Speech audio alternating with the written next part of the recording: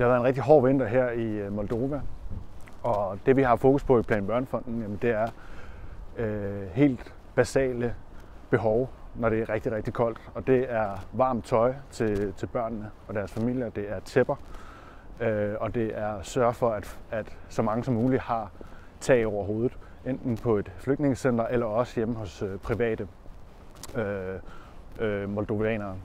Øh, og det, det gør vi blandt andet gennem øh, en, en af vores partnere, Moldova for Peace, øh, som arbejder ud fra et, et lagerrum her, som faktisk engang var et, øh, et filmstudie, øh, dengang at øh, Moldova stadig var en del af Sovjetunionen. Øh, så der er vi lige taget ud for at, for at se, hvordan, øh, hvordan det foregår. Øh, her i varehuset i, øh, i Chisinau, der kan flygtninge komme og få de mest basale fornødenheder.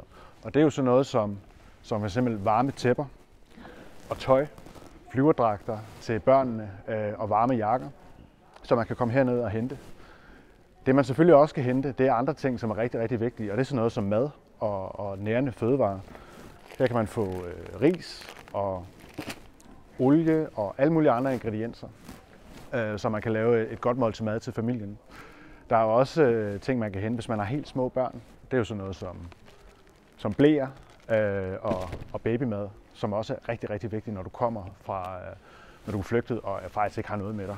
Øhm, så når du støtter øh, Plan Børnefondens øh, indsats, så støtter du også det arbejde, vi laver her sammen med vores lokale partner, Moldova for Peace.